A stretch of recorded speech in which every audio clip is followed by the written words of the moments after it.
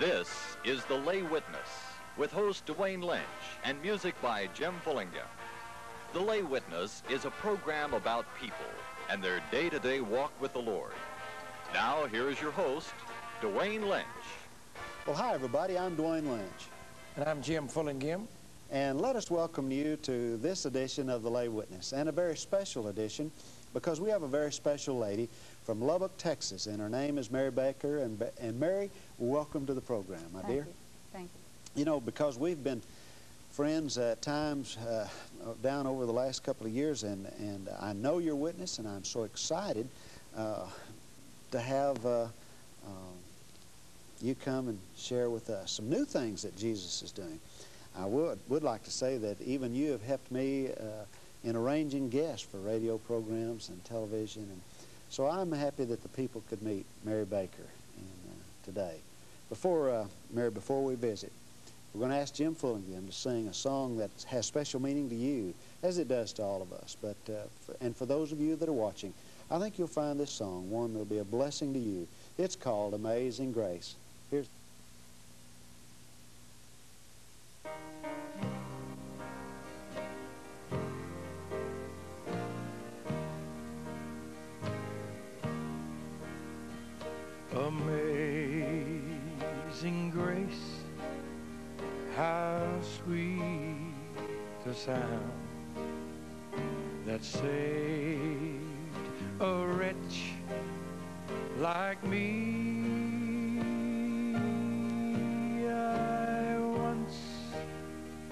was lost, but now I'm found. I was blind, folks, but now I see.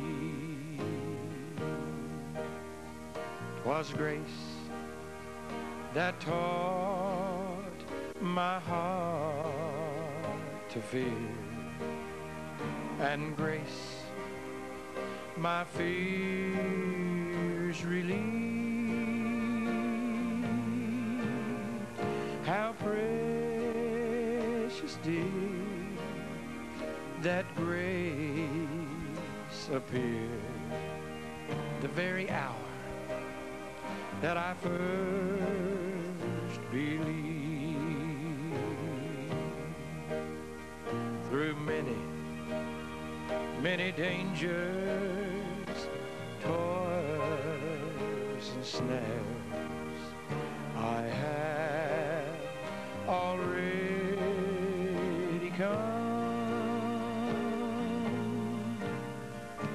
grace that brought this farmer safe thus far. It's gonna be his grace, folks, that will lead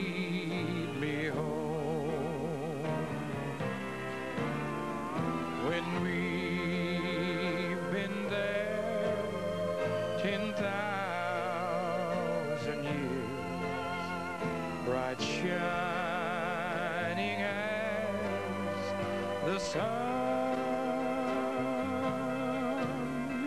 We've no less days to sing God's praise than when we first begun.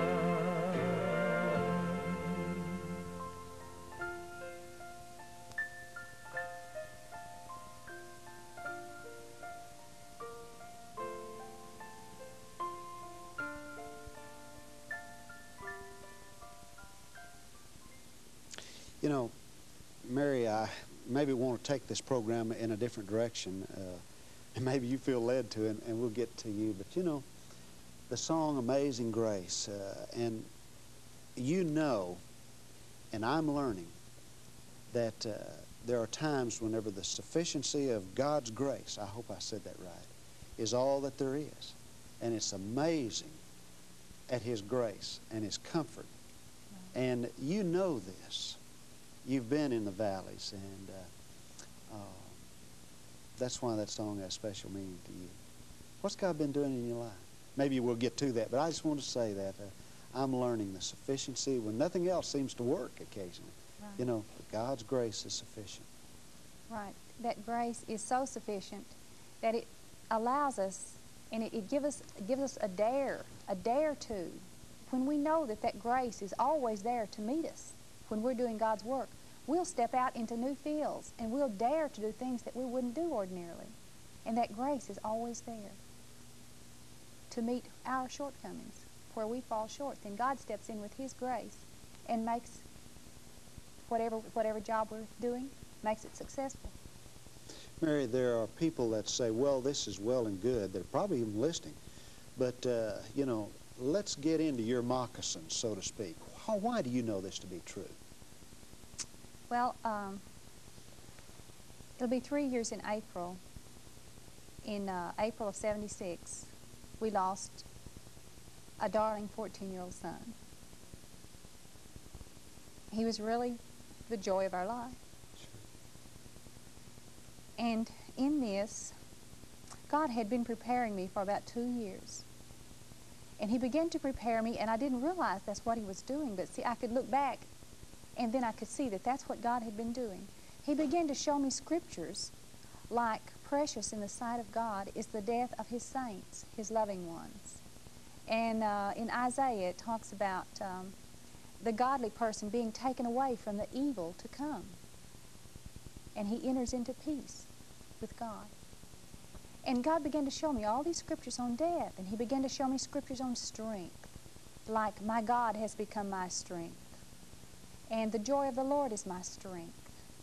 And um, fear not, I will strengthen you and harden you to difficulties. We don't have to be afraid of those difficulties. God will strengthen us. And that grace will be there just when we need it. Okay, I began to have uh, understandings in dreams that if someone had told me in words, I would not have understood. But God began to show me what death means to Him through dreams. And uh, I remember one particularly, I was in it and I was walking down this long hall, and God said, Mary, it's time to go home. And I said, but I can't, can't I tell my family goodbye, Daryl and the kids? And he said, it's time to go home. And he took my hand and we walked off together. And that's all there was. That was death. I was going home to be with God.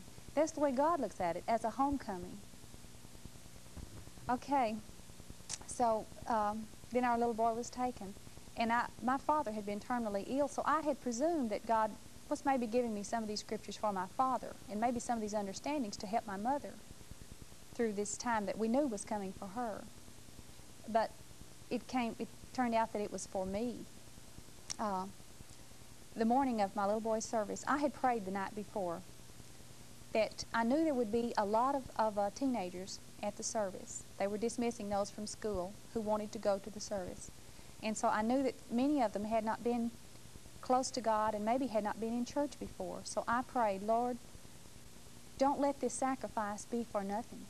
You know, we want it to, we want his life to amount to something even in these last few hours.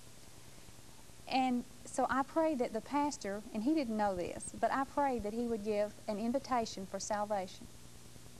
So God talked to him all night. He wrestled. You know, you don't usually give a salvation invitation at a funeral. It's, it's unusual. And he had never done this before.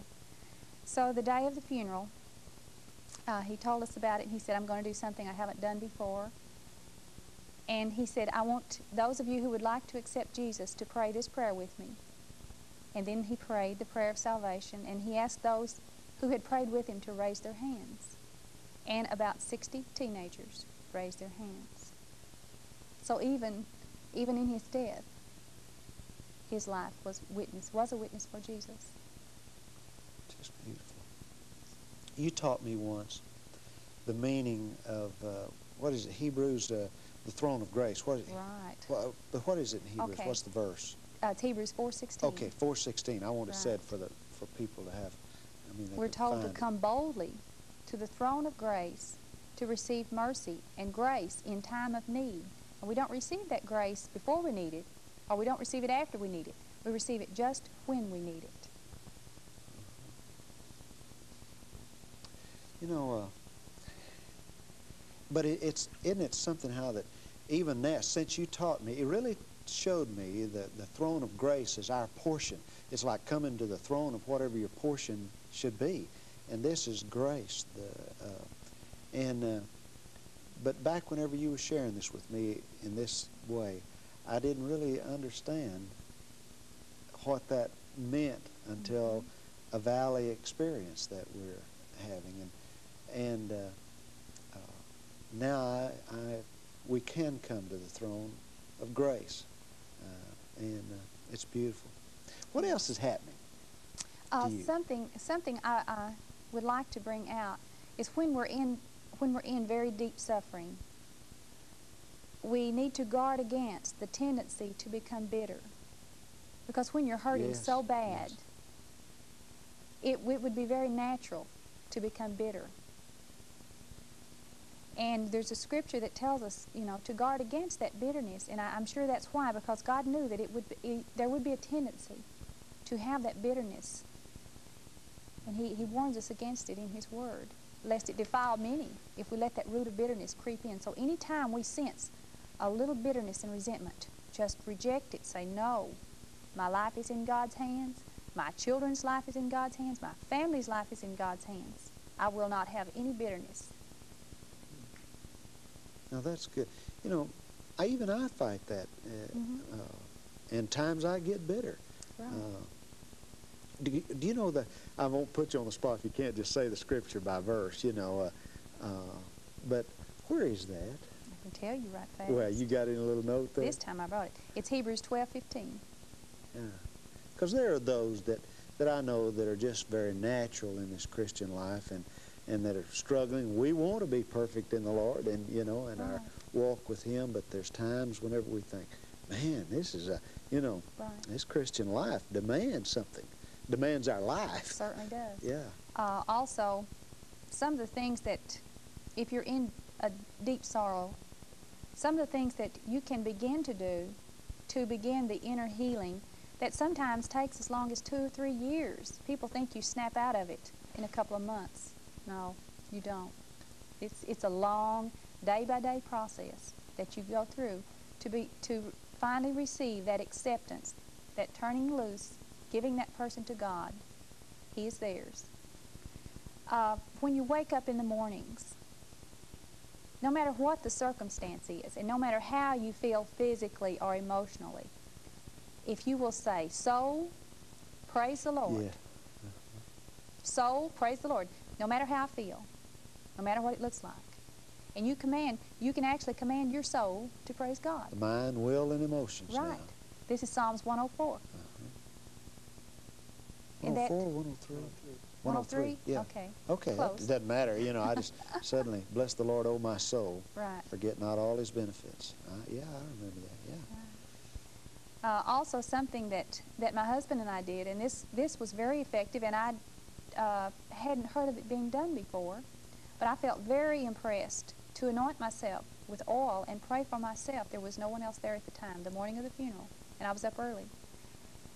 And I received such strength from that that, that I, I anointed my husband and my other children with oil, and we all prayed together. And we didn't do this just once. My husband and I did this daily for many months, just so that we would have the strength for that day to carry on. You anointed each other with oil and Right. prayed for strength. Right. I'd not heard you say that before. Uh, I heard later that um, I heard Oral Roberts talking on his TV show after his daughter had been killed that he and his wife anointed each other. And I thought, oh, I'm so glad someone else was impressed to do that. Yes, yes. What does that, uh, what does that do for you when you do this? Can you tell me? There is an inner strengthening that I do not really have a scripture for, but I know by experience there is an inner strengthening. It's like you you take yourself off of your own hands. You put yourself into God's hands, and it's his responsibility how your day goes. That's good. What else you want to tell me? Um, Every time we visit, there's all after we're through visiting, why there's always times that we say, "Boy, I wished we had talked about this and that." So uh, Uh, just also- reflect. also, um, something about all parents and may, all mothers, maybe fathers. We assume that our children are ours. It's my son, my daughter, it's my child. But really, and I really experienced this, they're not ours. They're loaned to us. They're God's. God gave a person, a lady in our church, a poem after my son was drowned. That the last two lines of it really brought this home. And the last two lines were, Do not think that I did you wrong when I called my son home. But Mary, talk to me more about about this because it that's got to minister to people that understand what I'm trying to say. Right. Tell me your feelings here. I, do you just automatically come into this? It seems to be a leading of the Holy Spirit. I didn't I didn't think about it on my own to go study it. I wouldn't have. It, you know, it wasn't that interesting. Also, uh, God gave me a real interest in the book of Job, and I had never even liked to read the book of Job. I had struggled through it maybe once, maybe twice. But God put me, after my son's death, He put me into the book of Job, and I began to see and feel how Job had felt. And I began to say, oh, there's someone who's felt this before. And it helps you to know that people before you have felt those kind of things, and you can read about them. And I found that there is a scripture for every need that we have. And when, my, when I first heard, when someone first called me and told me that my son had drowned, I, I, I was just stunned. And the first words that came to my mind was, The Lord giveth and the Lord taketh away. And I paused a few minutes. And I finally said, Blessed be the name of the Lord. Such strength. But you know, we all can say, I release my child, or ever who it is, to the Lord. And there are, there are those of us who really want to do this, Right. who really and truly want to, but don't know how. Okay. It is a maturing process. You cannot do it overnight. You can say it and you can want to it, but it is a process that you mature into. Once you know about something, you know it's ahead of you, and you know that you can mature into it, and you begin to look for that. Okay. Talk to me some more. Okay? Something else? Dwayne, Bless let me- heart. could I, Oh, I don't please. inter- Oh, interject please. here often, but I was just okay. sitting here thinking about my life and, and with uh, what Mary was sharing, and you were asking her some questions. Some of these things, as we sit here, now she's experienced the loss of her child, and uh, really we, we try to put ourselves in that, well, I just don't believe I could take it, or I don't know how I could do it. But that scripture, God, His grace That's is the there when you need it that time and you know so it's something you can't just really be prepared for every minute but when the time comes god's grace is sufficient his word and Right. and then from then on what i understand where the growing process has taken place is since that point on I, I, you have what god's been teaching you and growing you into is something amazing because i'm amazed every time i hear you mary of uh, of your strength and of your wisdom and of of the teachings that God's given you since this time. But uh, uh, really, it'd be hard to explain across to people. I think. Uh, well, how can I face it if I'm going to say, really, you can't do that You can't. unless till that No. happens. You can't really be prepared, but God's grace uh, will be sufficient, and for that You're, particular uh, time. Your song that you're going to sing is, is He Knew Me Then. Yeah. Isn't that it? Isn't that the title of the song that he- you're going to sing? now? Yes, and he, he knows he knew me then, and he knows me now. You know, he knew In the circumstance, right whatever now. it is. Right now, it's a love song, and Why don't you sing that All to us? let huh? me- Get your mic. I'll get my mic cranked Yeah. I'll Here's just do Jim.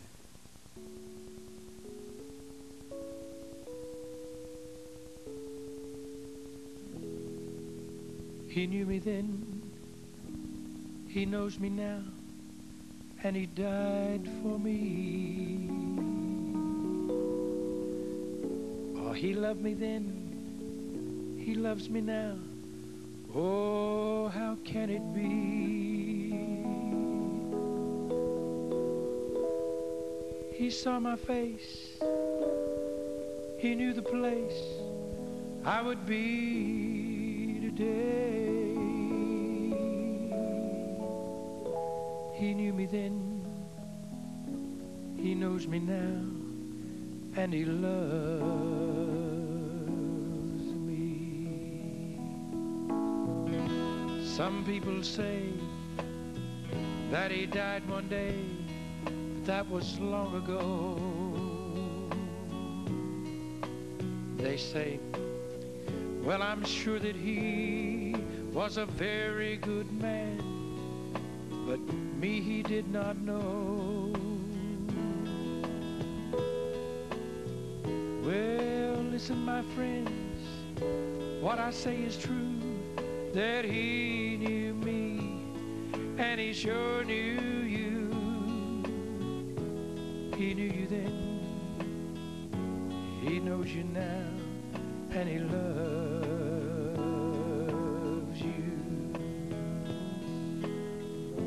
He knew you then, he knows you now, and he died for you. He loved you then, and he loves you now. Oh, I know it's true. He saw your face, he knew the place that you would be today. He knew you then, he knows you now, and he loves you. He knew us then, he knows us now, and he loves us still somehow.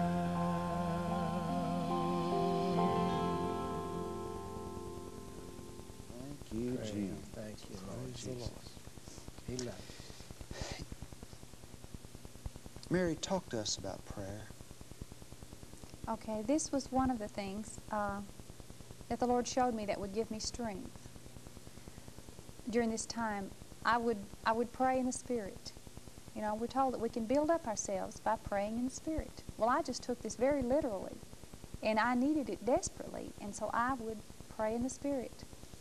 A lots and lots of the time, that that's what I would be doing, maybe just quietly to myself, or if I was alone in the house, out, out loud to God. Um, also, the prayers uh, of the people around me. I knew I was very conscious of the people who were holding me up in prayer, and I also knew about the time that they stopped.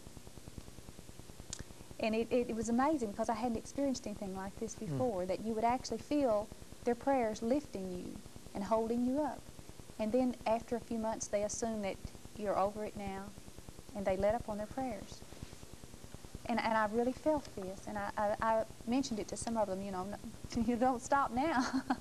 Well, my. it, it was, it was really amazing. Also, uh, something else I don't think I've mentioned before: the power in the name of Jesus.